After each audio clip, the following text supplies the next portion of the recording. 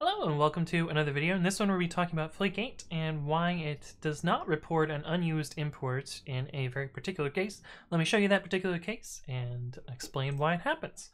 Alright, so we are going to open up a Python file and uh, the particular case is uh, two imports that look like this and then a print down here that's like, I don't know, a.x or whatever. So if we run Flake8 on this file, even though A doesn't exist because Flake8 only does static analysis, uh, you'll see that it does not report an unused import for this. However, you know, if I put import B here, you'll see that it does import, you know, B imported but unused. And the question is, why does this happen?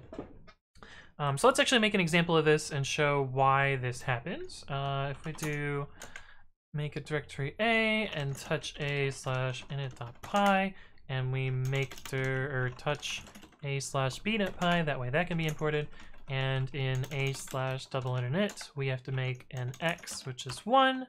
And if we run t, oops, Python 3, uh, you'll see that it prints a.x, which is one. So this, this code works. Um, and the reason that this is not, uh, you know, implemented that way, actually, let's do uh, dash s. Let's see. I just want to avoid my startup. Oh, no, that still runs my startup. Oh, I guess I can do Python startup. I have a special startup and I want to show the globals that are here, so I want to avoid these special things here. Okay, so these are the built-in names that always come here. So uh, always equals set this, and we're going to ignore those in a second.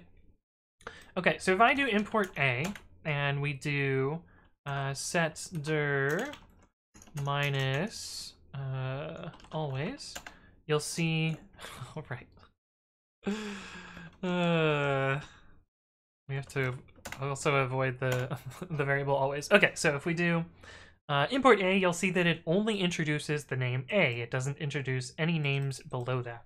And if we again do import A.B, you'll see that that didn't introduce any new names. So what this does is it performs a side effect. So it makes A.B available in sys.modules. So a.b uh, is available in sys.modules. However, it doesn't change the names that are exposed to your module. And so from from uh, Flake8's perspective, well, specifically PyFlakes, because that's what actually implements this check.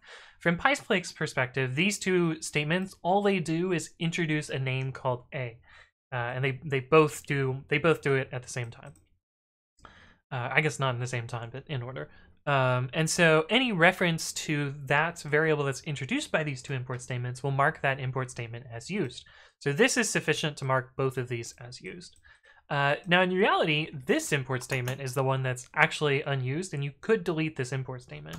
Uh, and if you're, you know, if you're using my tool called, uh, called reorder pip install reorder python imports. Uh, reorder python imports knows that this is a this is an unnecessary import, and so if you run it on this file, uh, you'll see that it. Oh, wait. it's supposed to remove this one. Why didn't? Oh, I didn't actually pass the file name in. Okay, I see. I see. I see. Uh, so you'll see it. It knows that that import is unused. Now let me show you a case where uh, this acts a little bit strangely. So like this works right now. Uh, and you might imagine that I could remove this import and it will still work. So if we do python 3 t.py, you'll see that that still works. Uh, so this import is unnecessary, but the static analysis can't really know that. Uh, there is actually a case where this will force this to be available. And so let's show that case here. If we make uh, a slash x.py and we remove uh, x from a slash dunder init, you'll see that uh, this this, uh... Oh, and then we have to do one more thing. Uh, we have to import a.x into b.py.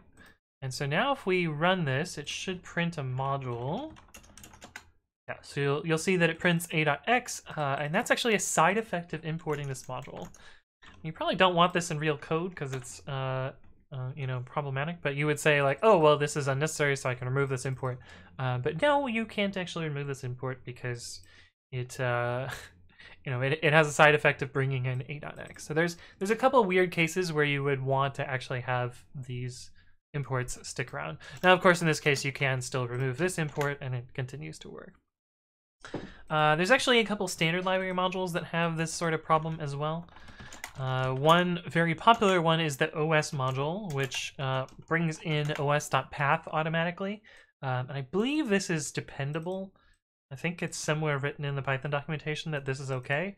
Um, but I still import os.path just because I, I feel like it's more explicit when I'm using, you know, like os.path.join foo and bar. I will do, I will put import os.path at the top just to make sure that, you know, this, this module looks like it's always imported.